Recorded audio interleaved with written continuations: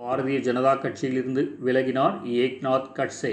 மகாராஷ்டிராவில் பாரதிய ஜனதா கட்சியின் மூத்த தலைவர் ஏக்நாத் கட்சே அந்த கட்சியின் அனைத்து பொறுப்புகளில் இருந்தும் விலகியுள்ளார்.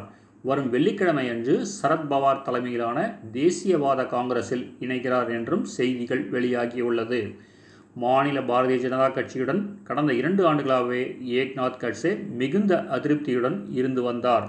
முதல்வர் தேவேந்திர பட்னாவிஸ் ஆட்சியில் அமைச்சராக இருந்த ஏக்நாத் பட்சே மீது கடந்த இரண்டாயிரத்தி பதினாறாம் ஆண்டு நில அபகரிப்பு மற்றும் ஊழல் குற்றச்சாட்டு வந்ததை அடுத்து கட்சே பதவி விலகினார். எந்தவிதமான குற்றச்சாட்டும் கட்சே மீது நிரூபிக்கப்படவில்லை. தன் மீது வெளிப்படையாக விசாரணை கமிட்டி அமைத்து விசாரிக்க முதல்வர் பட்னாவிசிடம் கட்சே கோரியிருந்தார். ஆனால் அதை பட்னாவிஸ் ஏற்கவில்லை. இந்த சூழலில் பாரதிய ஜனதா கட்சியிலிருந்து அனைத்து பொறுப்புகளிலிருந்தும் ஏக்நாத் கட்சே விலகியுள்ளார். விவசாயிகளுக்கு இலவச மின்சாரம் வழங்கிட மானியம். புதுவையில் காங்கிரஸ் ஆட்சி பொறுப்பேற்ற பின் விவசாயிகளுக்கு இலவச மின்சாரம் அளிக்கப்பட்டு வருகிறது. அதாவது விவசாயிகள் பயன்படுத்தும் மின்சாரத்துக்கான தொகையை வேளாண் துறையானது மின்துறைக்கு செலுத்திவிடும். புதுச்சேரி மாநிலத்தில் மேலாண்மையை பெருக்கவும் விவசாயிகளின் நலன் காக்கவும் அவர்களின் வருமானத்தை பெருக்கவும் அரசு விவசாயிகளுக்கு பயிர் பாதுகாப்பு தொழில்நுட்பம் என்கிற திட்டத்தின் மூலமாக இலவச மின்சாரம் வழங்கி வருகிறது.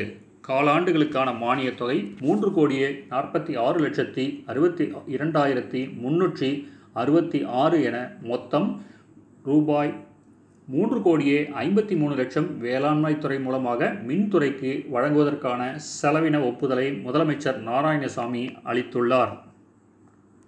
கமலா ஹாரிஸுக்கு ஜோ பிடன் பிறந்தநாள் வாழ்த்து. ஜனநாயக கட்சி துணை அதிபர் வேட்பாளர் கமலா ஹாரிஸ் இன்று தனது ஐம்பத்தி ஆறாவது பிறந்தநாளை கொண்டாடுகிறார். இந்த நிலையில் கமலா ஹாரிஸுக்கு ஜோ பிடன் வாழ்த்து தெரிவித்துள்ளார்.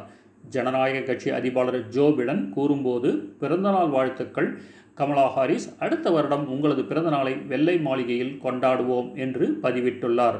அமெரிக்க அதிபர் தேர்தல் நவம்பர் மூன்றாம் தேதி நடைபெறுகிறது. இதனைத் தொடர்ந்து ஜனநாயக கட்சி மற்றும் குடியரசுக் கட்சி வேட்பாளர்கள் தேர்தல் பிரச்சாரத்தில் ஈடுபட்டு வருகின்றனர். ஜனநாயக கட்சியின் அதிபர் வேட்பாளர் ஜோ பிடன் மற்றும் துணை அதிபர் வேட்பாளர் கமலா ஹாரிஸுக்கு ஆதரவாக முன்னாள் அதிபர் ஒபாமா தேர்தல் பிரச்சாரத்தில் ஈடுபட உள்ளார் சீன வங்கியில் கணக்கு வைத்துள்ளார் ட்ரம்ப். இன்னும் இரு வாரங்களில் அமெரிக்க அதிபர் தேர்தல் நடைபெறவுள்ளது. கருத்து கணிப்புகளில் ஜனநாயக கட்சி வேட்பாளர் ஜோ பிடன் முன்னிலையில் உள்ளார். தேர்தல் பிரச்சாரங்களில் கொரோனா வைரஸ் மற்றும் பொருளாதார விஷயங்களுக்காக சீனாவை ட்ரம்ப் கடுமையாக சாடினார். அந்நாட்டில் வர்த்தகம் செய்யும் அமெரிக்க நிறுவனங்கள் வெளியேற வேண்டும் என வர்த்தக போரை தூண்டினார். இந்த நிலையில் நியூயார்க் டைம்ஸ் பத்திரிகை ட்ரம்பின் வரி கணக்கை வெளியிட்டுள்ளது. அதில் தனிப்பட்ட மற்றும் அவரது நிறுவனத்தின் நிதி விவரங்கள் அடங்கியுள்ளன. ட்ரம்ப் நிறுவனத்தின் சீன வங்கி கணக்கிலிருந்து ஒரு கோடியே மூன்று லட்சம் ரூபாய் உள்ளூர் வரியாக செலுத்தப்பட்டுள்ளதை பத்திரிகை வெளிப்படுத்தியுள்ளது. ட்ரம்ப் நிறுவனமே சீனாவில் வியாபாரம் செய்து உள்ளூர் வரியாக கோடிக்கணக்கில் செலுத்தியிருப்பது சர்ச்சையை கிளப்பியுள்ளது. இது குறித்து ட்ரம்ப் நிறுவன வழக்கறிஞர் அளித்துள்ள விளக்கத்தில் நியூயார்க் டைம்ஸ் பத்திரிகை ஊகத்தின் அடிப்படையில் கதை எழுதியுள்ளது. அமெரிக்க அலுவலகங்களுக்கு உள்ளூர் வரி கட்ட மட்டுமே சீன வங்கி கணக்கு துவங்கப்பட்டது. இரண்டாயிரத்தி பதினைந்தில் இருந்து எந்த வணிக செயல்பாடுகளும் ஒப்பந்தங்களும் நடைபெறவில்லை. வங்கி கணக்கு செயலில் இருந்தாலும் வேறு எந்த நோக்கத்திற்கும் பயன்படுத்தப்படவில்லை என்று கூறியுள்ளார். அதிமுக அரசுடன் இணைந்து போராடத் தயார் ஸ்டாலின். நீட் நுழைவுத் தேர்வில் தேர்ச்சி பெறும் அரசு பள்ளி மாணவர்கள் மருத்துவ படிப்புகளில் சேர ஏழு புள்ளி ஐந்து சதவீதம் உள்ஒதுக்கீடு வழங்க கடந்த மாதம் நடந்த சட்டசபை கூட்டத்தில் மசோதா நிறைவேற்றப்பட்டது. அந்த சட்டம் கவர்னர் ஒப்புதலுக்கு அனுப்பப்பட்டது. ஆனால் கவர்னர் ஒப்புதல் வழங்கவில்லை. அவர் சட்ட நிபுணர்களின் ஆலோசனையை கேட்டுள்ளார். இந்த மசோதா தொடர்பாக திமுக தலைவர் ஸ்டாலின் ட்விட்டரில் இந்த நேர்வில் அதிமுக அரசுடன் இணைந்து போராட திமுக தயார் என்று பதிவிட்டுள்ளார். விவசாயிகளின் வழியை புரிந்து கொள்ளாத பாரதிய ஜனதா அரசு பிரியங்கா. மத்திய அரசு கொண்டு வந்த வேளாண் சட்டங்களுக்கு எதிராக பல்வேறு இடங்களில் விவசாயிகள் போராட்டம் நடத்தி வருகின்றனர். வேளாண் சட்டங்களால் விவசாயிகளுக்கு குறைந்தபட்ச ஆதார விலை உறுதி செய்யப்படும் எனவும் விவசாயிகளின் வருவாய் உயர்த்தப்படும் என்றும் மத்திய அரசு தரப்பில் உறுதியளிக்கப்பட்டது. இந்நிலையில் காங்கிரஸ் பொதுச் செயலாளர் பிரியங்கா தனது ட்விட்டரில் பாரதிய ஜனதா அரசு வேளாண் சட்டங்களை கொண்டு வருவதில் மற்றவர்கள் கருத்துக்கு முக்கியத்துவம் அளிக்கவில்லை.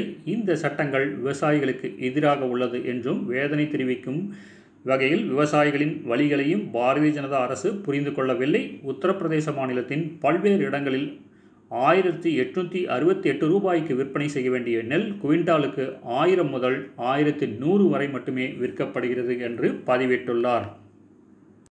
நாடு முழுவதும் டிராக்டர் பேரணி நடத்த காங்கிரஸ் திட்டம். மத்திய அரசின் வேளாண் சட்டங்களை எதிர்த்தும் விவசாயிகளின் நலன்களை வலியுறுத்தியும் அடுத்த மாதம் நாடு முழுவதும் டிராக்டர் பேரணிகளை நடத்த காங்கிரஸ் தலைமை முடிவு செய்துள்ளது.